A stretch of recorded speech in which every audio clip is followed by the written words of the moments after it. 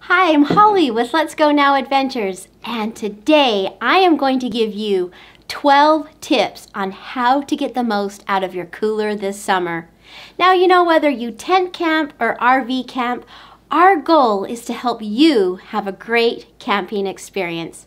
So if you find some value out of this video today, hit the subscribe button so you'll be notified when we put out other awesome camping tips and tricks.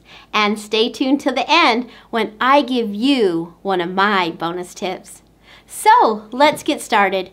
You know, it's so important when you're up camping to be able to keep your food cold so it stays safe.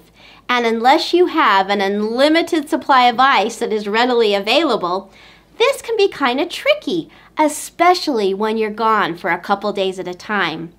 So here are a couple tips that will help you get the most out of your cooler. Okay, so tip number one. Line the bottom of your cooler with blocks of ice. Now, blocks of ice will last you much longer than just regular ice.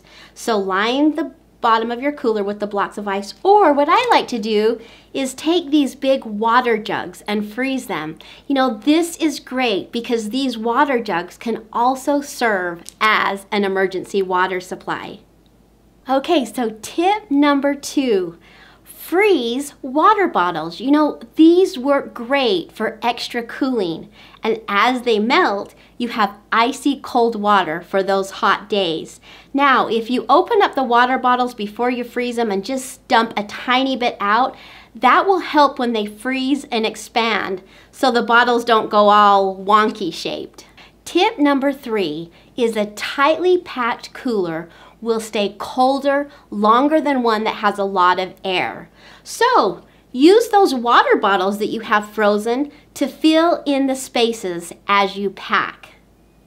Tip number four is freeze your meals ahead of time. You know, a little bit of pre-planning and getting your meals frozen will definitely help your cooler stay colder and your food last longer. Now, obviously, if you packed your cooler and you're headed up for the evening, you won't need to freeze your meals, but this helps especially when you're gone for a couple days at a time. Okay, so tip number five is use a cooling rack on the bottom of your cooler on top of your blocked ice or water jug. This helps so that as the ice melts, the food isn't sitting in the water getting soggy. Now, I don't know if this has ever happened to you, but egg cartons that get in the water get very soggy. And I'll just leave it at that.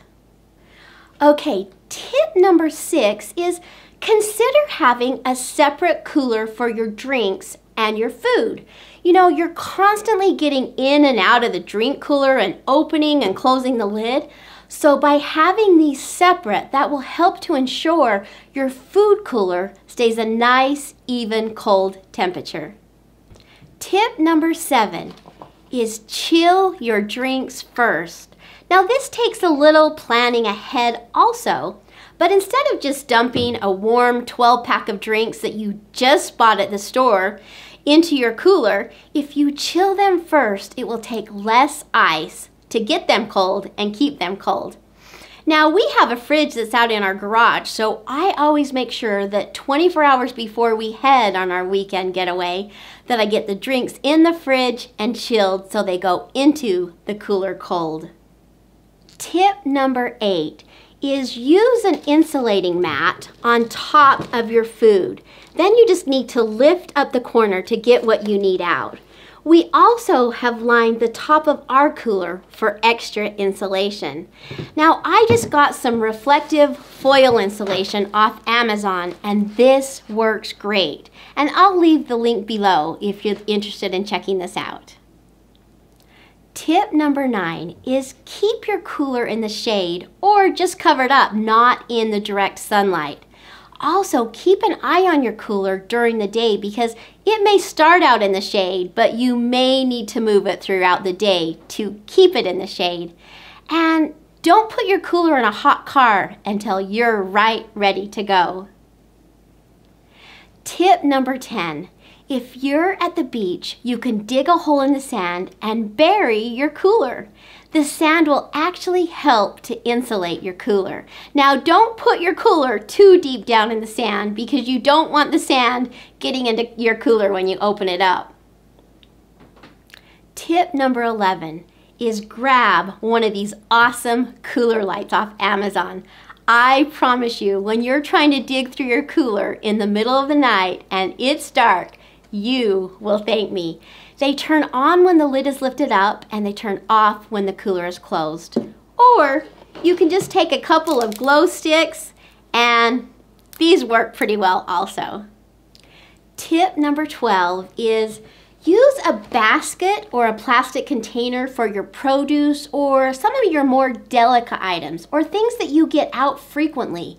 Then you can just reach in, grab the entire basket out of the cooler without getting in and out of your cooler a million times.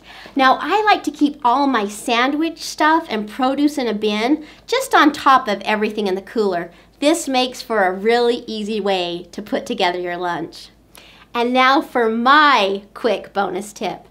Clean your cooler as soon as you get home. Now, I know that sounds kind of silly, but there has been plenty of time that I have gotten home, we're tired, I put my food away, but have not cleaned out my cooler. And boy, are you in for a stinky surprise next time you open up your cooler.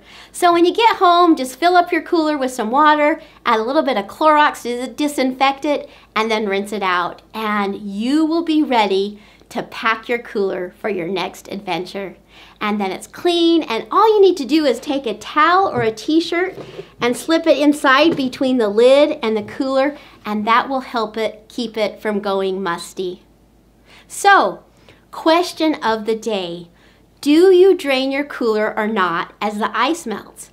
Well, we actually drain the water from our food cooler so that things don't get soggy but we do leave the ice in our drink cooler because the melted ice cold water is actually colder than the air that you introduce by draining it. So what do you do?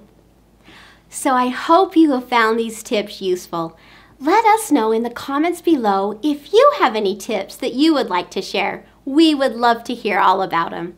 And once again, we would love to have you subscribe to our channel. And thank you so much for watching.